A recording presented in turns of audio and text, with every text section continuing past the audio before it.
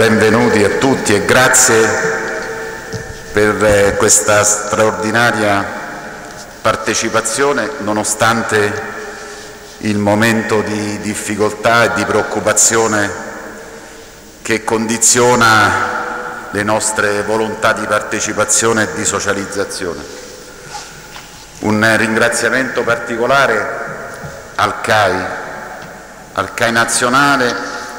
al CAI regionale e anche alla sezione CAI di Amatrice,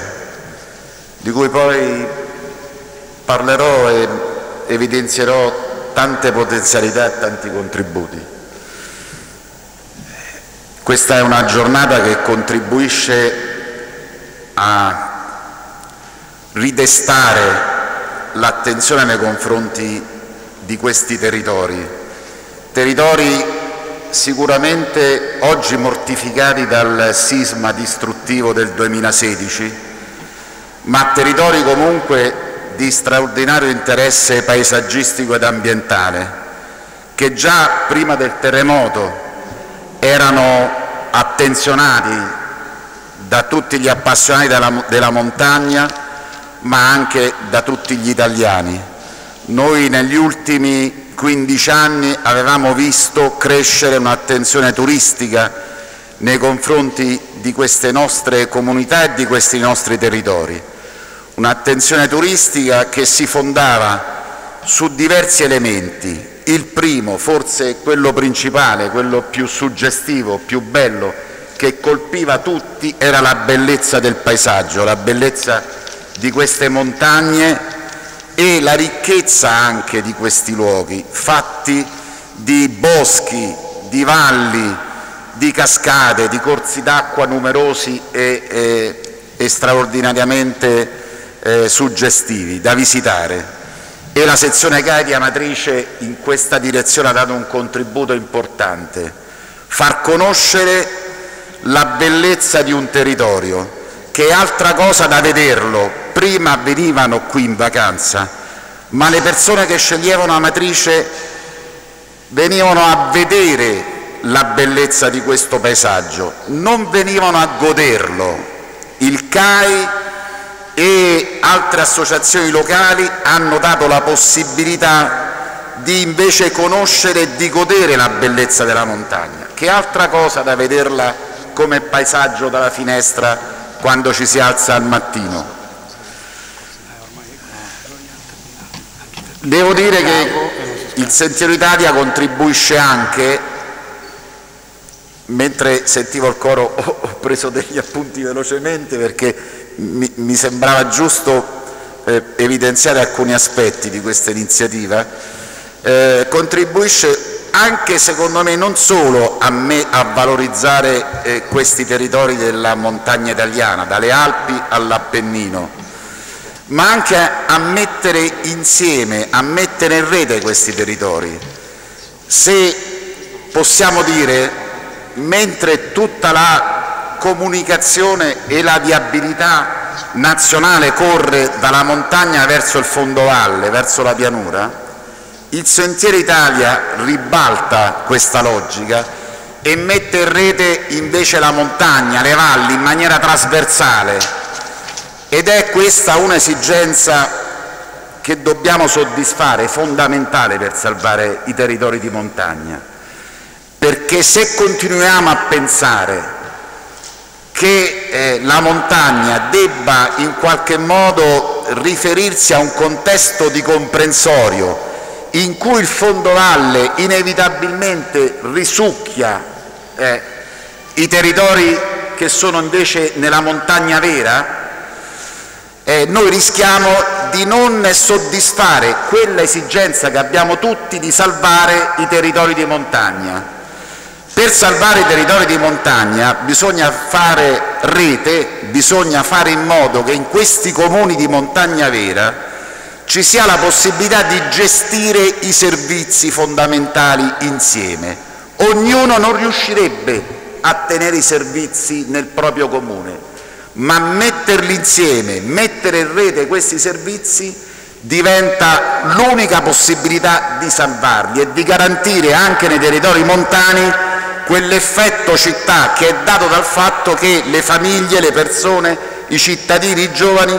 possono trovare e usufruire nel loro ambito territoriale i servizi che hanno anche la possibilità di usufruire nelle grandi città.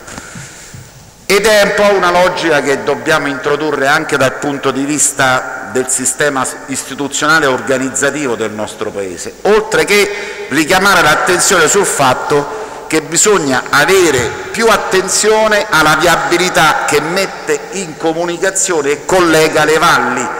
che dà la possibilità di, far, di, di, di costruire un vero rapporto eh, agevole tra le popolazioni che vivono in questi comuni montani. Faccio un esempio per capirci, noi siamo tra Umbria, Marche, Abruzzo, siamo quella lingua del, del Lazio che si insinua tra queste regioni. Noi abbiamo come comuni limitrofi Campotosto, Montreale, Capitignano, eh, Norcia, Arquata del Tronto, Marche, Norcia, Bru eh, Umbria, Campotosto, eh, Montreale, Capitignano, Abruzzo. E e poi ancora do, dopo, dopo Arquale del Trotto abbiamo tutta la, la, la, fascia dei comuni che entra nel, nei Sibillini. Quindi è un comprensorio omogeneo dal punto di vista territoriale e anche dal punto di vista economico e sociale. Dobbiamo avere la capacità di capire che se vogliamo tenere le popolazioni in, in montagna, noi a questi comprensori dobbiamo fare riferimento, dobbiamo favorire la comunicazione, perché la comunicazione dà la possibilità di tenere le scuole, di tenere le strutture sanitarie in questi territori e magari anche di tenere le strutture sportive di tempo libero che sono fondamentali. Dico l'ultima cosa perché capisco che sto utilizzando troppo il tempo che sta offrendo questa iniziativa straordinaria del CAI, è quella di eh, suscitare così una riflessione anche dal punto di vista dell'evoluzione istituzionale. Noi abbiamo oggi un superamento delle comunità montane, ce l'abbiamo non perché qualcuno a un certo punto ha capito o gli è venuto in mente che era meglio fare un'organizzazione diversa, ma ce l'abbiamo perché nei fatti i comuni che ne facevano parte comunque hanno evidenziato delle carenze, delle sofferenze, delle difficoltà e si sta lavorando sulla riproposizione eh, di un livello organizzativo istituzionale diverso ma che a mio avviso rischia di fondarsi sugli stessi elementi costitutivi delle comunità montane, cioè territori innanzitutto scelti per legge e, non, e quindi eh, aggregazioni scelte per legge e non invece frutto di un ragionamento e di una sensibilità e di un'attenzione delle comunità locali.